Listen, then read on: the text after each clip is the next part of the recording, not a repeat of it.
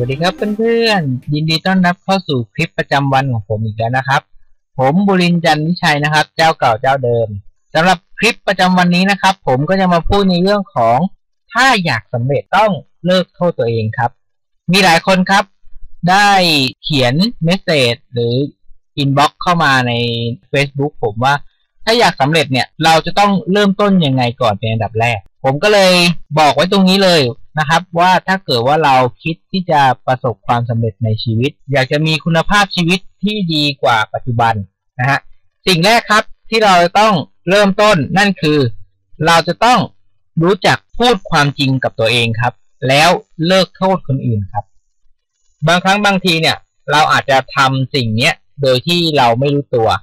นะฮะในเรื่องของการโทษคนอื่น อย่างเช่นเราบอกว่าเราจน เพราะอะไรเราถึงจน เราก็จะบอกว่า อ๋อ ก็เพราะว่าลูกกำลังเรียน พ่อแม่ป่วย นู่นนี่นั่นสารพัดหรือว่านายจ้างให้เงินน้อย ให้ค่าแรงน้อยไม่ให้โอทีอะไรก็แล้วแต่นะครับ เนี่ยเรากำลังโทษคนอื่นอยู่เรากำลังโทษสิ่งแวดล้อมอยู่คำถามคือ ความผิดมันอยู่ที่พ่อแม่เราป่วย หรืออยู่ที่ลูกเรากำลังเข้าโรงเรียน หรือว่ามันผิดตรงที่ว่า เราไม่ได้วางแผน การเงินในส่วนนี้เพื่อรักษาพ่อแม่หรือเพื่อเลี้ยงดูบุตรกันแน่นะครับ มันน่าคิดนะครับว่าจริงๆแล้วเนี่ย ความผิดเนี่ย มันเกิดจากใครกันแน่ มันเกิดที่เราไม่คิดถึงอนาคต หรือมันเกิดเพราะคนอื่นทำให้เรามีชีวิตเป็นแบบนี้กันแน่นะฮะก็อยากให้ลองคิดดูนะครับ บางครั้งหลายคนนะครับ บอกว่า ก็บ้านเราไม่ได้รวย บ้านเราฐานะไม่ดีมาตั้งแต่แรกต้นทุนไม่ดี นี่ก็คือการโทษคนอื่นอย่างหนึ่งนะฮะแต่ใจจริงลึกๆแล้วเนี่ย หลายคนน่ะ รู้อยู่แก่ใจนะครับว่าสิ่งที่มันทำให้เราเนี่ยมีชีวิตเป็นแบบนี้ มีคุณภาพชีวิตไม่ได้ดีอย่างที่คิดเนี่ย จริง ๆ แล้วเนี่ย เป็นเพราะตัวเราล้วนๆนะครับ เพราะตัวเรามีความสามารถที่จะพาชีวิตมาได้เพียงแค่เท่านี้เองนะฮะส่วนการที่เราเนี่ยมักจะนั่งโทษคนอื่น ก็เป็นเพราะว่า เราเนี่ยอยากจะหาข้ออ้าง ที่อยากจะทำให้เราเนี่ยรู้สึกสบายใจ เมื่อรู้สึกสบายใจปุ๊บเราก็จะไม่ทำอะไรอีกแล้วนะฮะโอเค เราสบายใจแล้วจบแล้วถูกต้องไหมฮะ แต่ถ้าเกิดว่าเราอยากมีชีวิตที่ดีกว่านี้ อยากจะประสบความสำเร็จ เราต้องรู้จักการพัฒนาตัวเองครับ แล้วจะทำยังไงล่ะ ให้เกิดความอยากพัฒนานั่นคือการต้องพูดความจริงกับตัวเองครับ ว่าทุกปัญหาที่เรากำลังประสบพบเจอเนี่ย มัน เกิดเพราะตัวเราเองทั้งนั้นแหละครับ อืม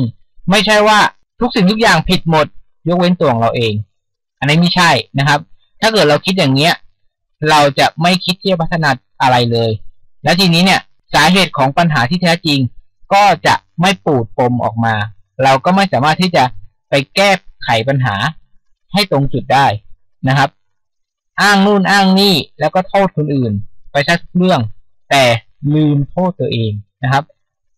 อืม ผมเน้นย้ำเลยว่าที่ชีวิตเราเป็นแบบนี้ ก็เพราะว่าเรามีความสามารถเพียงแค่เท่านี้ยังไงล่ะครับ ดังนั้นถ้าเกิดว่าเราอยากจะพัฒนาตัวเอง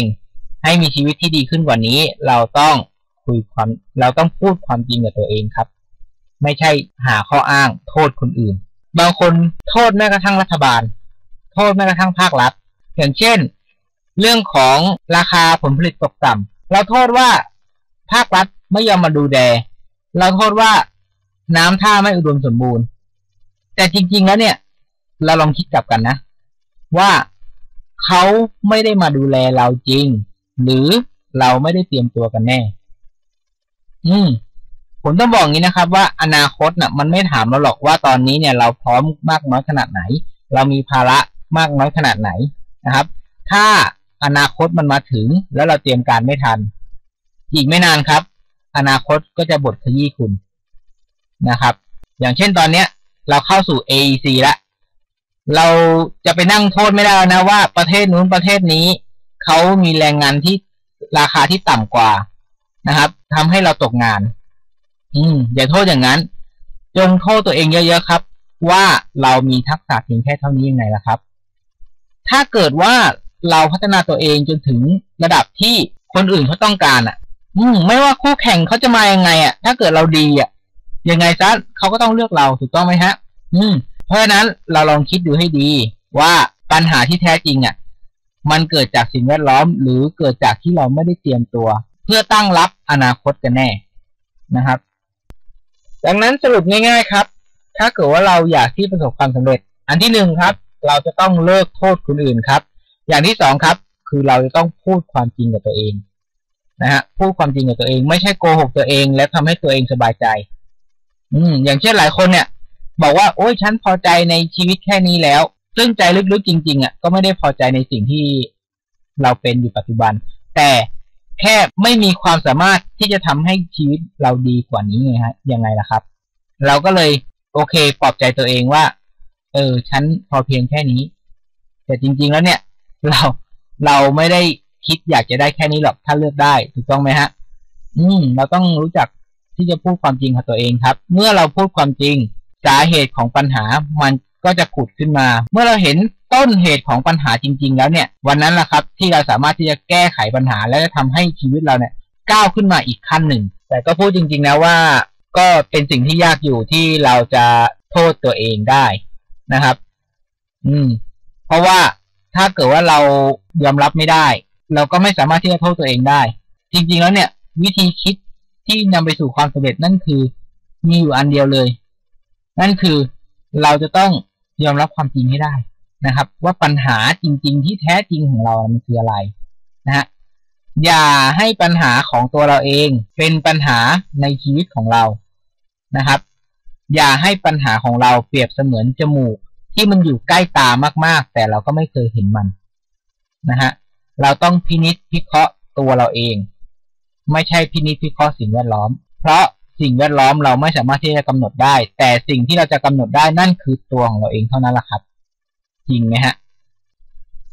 โอเค งั้นในคลิปวิดีโอประจำวันนี้นะครับ ผมก็ขอจบแต่เพียงเท่านี้นะครับ ขอบคุณ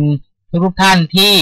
ติดตามรับชมและรับฟังคลิปวิดีโอของผมมาตลอดนะครับ อย่าลืมไปกด subscribe ของผมด้วยนะครับ ถ้ารักถ้าชอบกันนะครับ ถ้าเพื่อนๆคนไหนอยากจะสอบถาม หรืออยากจะฝากคำถามเอาไว้เพื่อให้ผมเนี่ย ได้อัดคลิปวิดีโอตอบคำถาม ก็ทักแชทเข้ามาใน inbox ใน Facebook ของผมได้นะครับ แล้วผมจะเลือกสรรเข้ามาตอบคำถามนะฮะสำหรับคลิปวิดีโอนี้นะครับ ก็ขอจบแต่เพียงเท่านี้นะครับ สวัสดีครับ